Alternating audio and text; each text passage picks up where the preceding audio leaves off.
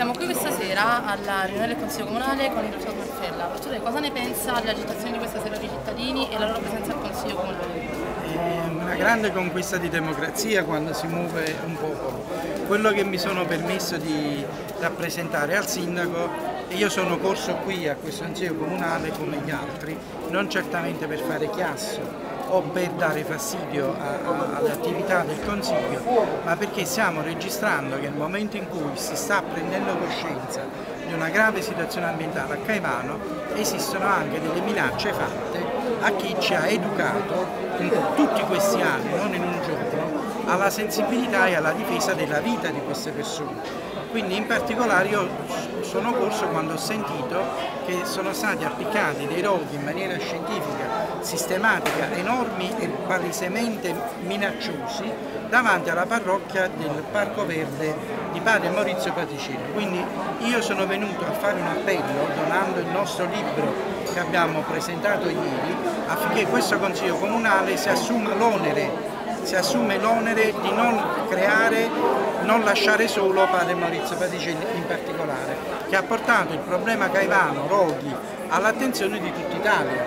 Io non voglio un altro Don Diana, io non voglio un altro padre Puglisi, io voglio chi ci educa come sta educando alla sensibilità di un problema grave che tutti quanti insieme, indipendentemente dalle posizioni politiche dobbiamo affrontare ma soprattutto risolvere. Ormai è chiaro a tutti che non possiamo andare avanti così. Per la sua esperienza, cosa sente di dire ai bambini o magari ai giovani che sono qui presenti o anche agli anziani? Allora, è incredibile dover dire che in un territorio come questo che è verde ci sono i problemi di dover respirare che ben maggiori di quelli che vivo io vivendo al centro di città. Io posso solo permettere di dire che è un territorio bellissimo, che quando non bruciano è un territorio che è evidentemente ancora pieno di tanto verde ed è in fiore, siamo in un'estate molto calda, ma io ho visto anche piena di colori, bellissima di queste campagne.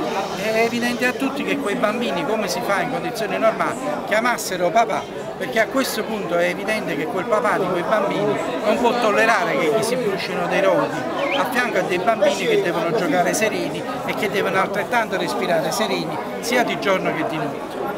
In una recente intervista a una signora anziana su un marciapiede insieme ai suoi compagni in estate, gli si chiedeva cosa pensava del fenomeno dei roghi e lui ci ha risposto che oramai il Vesuvio eh, con il fumo nero è un paesaggio che appartiene al nostro patrimonio. Lei cosa ne pensa? Cosa risponderebbe? Dobbiamo eh, rassegnarci, dobbiamo attendere molto, dobbiamo attivarci, come dobbiamo fare? Allora, noi se siamo qua è perché non intendiamo rassegnarci. Ci hanno fatto rassegnare, ieri mi è piaciuto quando abbiamo presentato il libro, le affermazioni di Rivieccio e delle mie, del, del comico Rivieccio, il quale praticamente si è reso conto che come ci stiamo rassegnando perché ci hanno indotto i sensi di colpa. Allora noi ci riteniamo responsabili di tante inciviltà e quindi essendo, sentendoci responsabili tante inciviltà non abbiamo affrontato né ci siamo ribellati.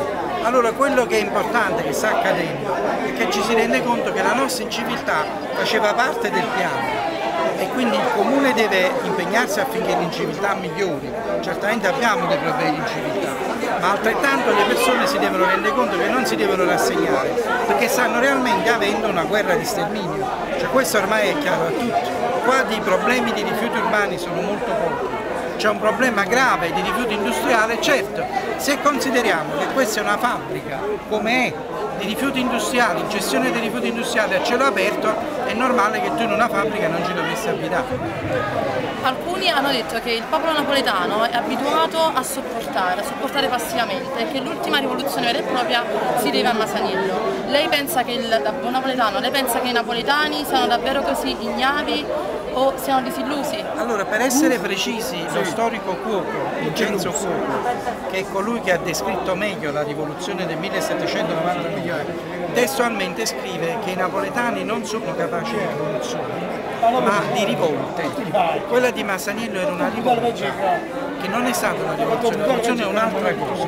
Quando tu cambi proprio sistema, crei un sistema nuovo e hai addirittura a monte le capacità di programmare anche prima un'ideologia, una classe dirigente eccetera.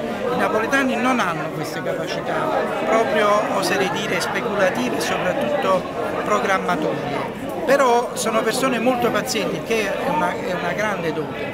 Noi, avere tolleranza non è un difetto, è una dote che manca a tanti popoli in questo, in questo mondo, però altrettanto quando ci rendiamo conto che si è superato il limite, noi siamo i più violenti di tutti. Cioè quando poi si è reso conto che è superato il limite, a Napoli la rivolta è sempre violentemente sanguinosa, perché tu ti sei reso conto che adesso non hai altro da fare che o la tua vita o quella di quello che ti ha distrutto. Questo mi preoccupa perché tra situazione politica grave, situazione economica grave, lavoro estremamente grave, è chiaro che continuando ad andare così, all'epoca di Goethe, all'epoca delle nostre passate diciamo, splendori ma anche tragedie. Tutti erano poveri però tutti potevano vivere la sera in un ambiente sereno. Goethe scriveva i napoletani sono poveri però possono permettersi a contare dei tedeschi di dormire anche diciamo, serenamente sul, sulla riva del mare, sulla spiaggia d'estate. Noi oggi non possiamo permetterci più niente, non possiamo permetterci neanche più di stare chiusi in casa col balcone aperto. Quindi è chiaro che si sta creando un aumento di pressione in questa pentola a pressione e il napoletano è fatto così.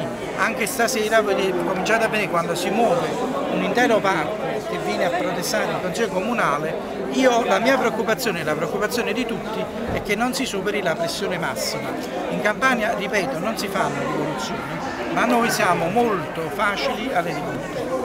La ringraziamo per le sue testimonianze e ci diciamo contenti per la proposta di cittadinanza onoraria che è stata Appare Maurizio è secondo me un grande aspetto di grande intelligenza politica se verrà realizzata ed è un grande atto di speranza. Deve essere presa in questo senso, una provocazione ma un atto di speranza. Va bene, la ringraziamo, buon lavoro.